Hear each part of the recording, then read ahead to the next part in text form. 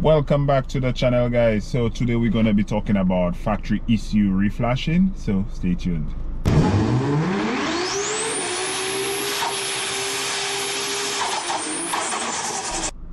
right so today i am in my 2009 subaru sgt um, this would be equivalent to the us version of the wrx the 2009 wrx the only difference is ours comes with a two liter engine slightly higher compression and a twin scroll turbo.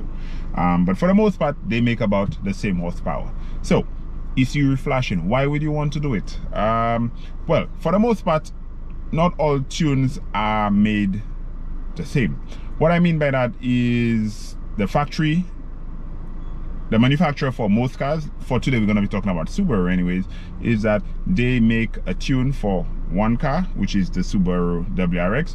And for the most part, that tune is supposed to be a one size fits all. So that tune is supposed to run in almost every single climate, on almost every single fuel, for the most part anyways.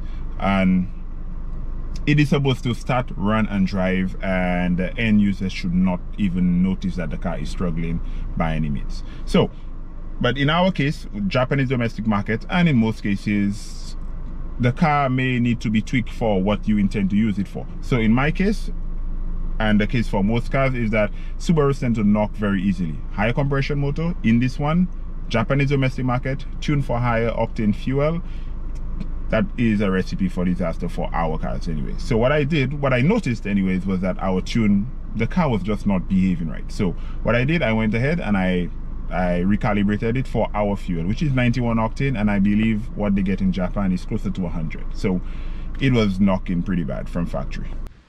Another reason you may want to have your factory ecu reflash is maybe you've added some aftermarket parts to your engine. So maybe you've changed the intercooler added a different intake maybe even changed the turbo and injectors.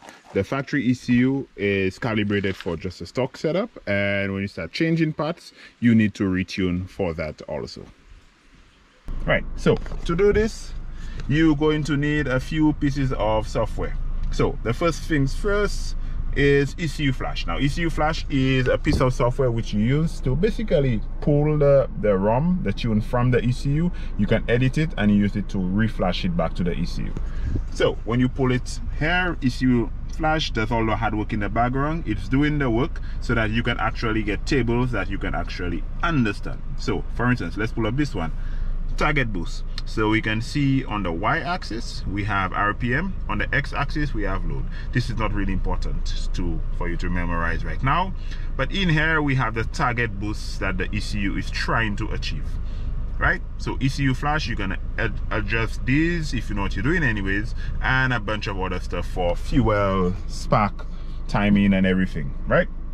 When you do that you flash it back to the ecu now the thing about factory factory ECU reflashing as opposed to standalone ECUs is that most on most standalone ECUs, if not all, you can just make changes live to the ECU whilst the car is running. With factory ECU, you usually have to switch off, write the changes to the car, restart the car, drive data log, then look at the data, see if you're closer or farther from your target, make changes and rinse and repeat. Right. Okay. For data logging, I used another piece of software called ROM. And all of these softwares are free to use. Um, with ROM you can pretty much data log almost every single thing that the ECU is seeing or monitoring. So you can monitor fuel ratios from the wideband sensors, coolant temperature, engine speed, knock, airflow, throttle position, vehicle speed, every single piece of information.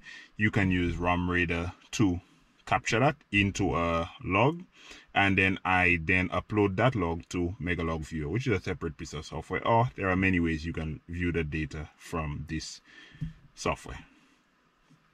Right, so why would I want to do this to this car? What are the gains? Well, for most cars, some different than others. There are big gains, there are small gains. In my car, um, from the factory, I use Virtual Dyno you can look up what that is. It's basically just a piece of software which mimics the results that you may get on a dyno usually very accurate. And with the completely factory tune the car was driving very horribly because it was pulling timing and whatnot since it was picking up knock on our poor fuel. And the car made about 183 horsepower. And then I'll put the graph up now as to what it actually made after a reflash